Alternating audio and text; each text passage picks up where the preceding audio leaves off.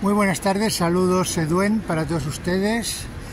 Eh, bueno, así bajando de paseo hemos pasado por estos grandes almacenes, los más conocidos seguramente, o por lo menos lo eran hasta, hasta durante mi época, que son el corte inglés. Entonces, fíjense ustedes que ya, como siempre, vamos a observar eh, lo que ofrece los escaparates. Aquí tenemos un escaparate como siempre un cuerpo de mujer que ni siquiera se le ve la cara, pero se le ve lo que importa, que es lo que lleva entre las piernas, que es lo que busca siempre Pa, pues ahí provocando, fin, no, sé, ofreciendo, que yo como no soy mujer, yo no sé qué verán las mujeres en esta imagen, ¿eh? es que yo de verdad que me quedo perplejo de cómo los galos han sabido meterse eh, dentro del coño de la mujer, eh, porque fíjense que es brutal, que esto al final es lo que vende, ¿no? sean trapos, sea cualquier cosa, pero al final lo que vende, porque es que eh, la mujer siempre queda atrapada con el gua, pa, gua para pa, ¿no?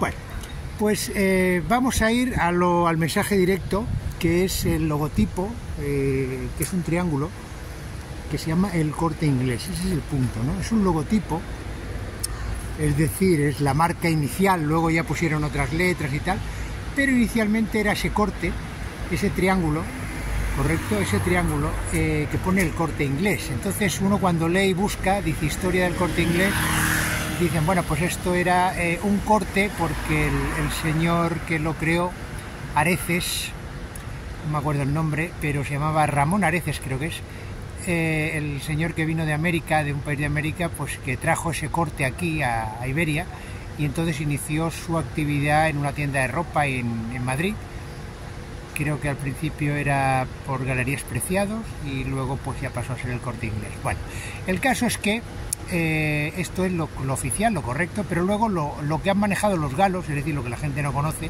ni siquiera el propio creador, es que realmente ese corte inglés, y si lo traducimos nosotros al lenguaje eh, certero y verdadero, lo que significa es el coño es el coño de la mujer es de los galos. Eso es lo que significa exactamente, porque ese corte, ese triángulo, ese corte, está simbolizando el coño de la mujer, es, porque tiene forma, eh, forma triangular, ¿verdad? Entonces, como ellos dentro ponen, ya están dentro de ese coño y pone el corte inglés. Y el corte, lógicamente, es el coño en sí mismo, la rajita. Y entonces, pues quiere decir inglés. ¿Por qué? Pues porque ya es de los galos, ya les pertenece. Esto es lo que trajeron aquí, uno de los elementos que trajeron aquí a Iberia para manejar a la mujer y bien que lo han conseguido 50 eh, años después, más o menos, o 60, no sé lo que lleva puesto. Y, vamos a finalizar con, con, el, con el detalle del, del eh, escaparate que tienen aquí, pues que evidentemente, ¿qué es lo que están mostrando en este? ¿Qué muestran aquí? Es que, claro, una cosa es lo que yo diga y otra cosa es que lo estemos certificando. No, no, no se ve la cara del ser, no se ve nada, solo se ve del cuerpo, las piernas y lo que tiene entre las piernas. ¿Qué está mostrando? El coño.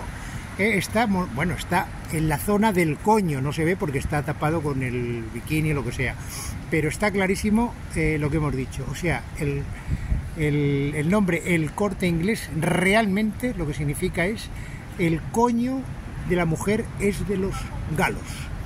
Muchas gracias, es que ricasco, agur, Sorinak.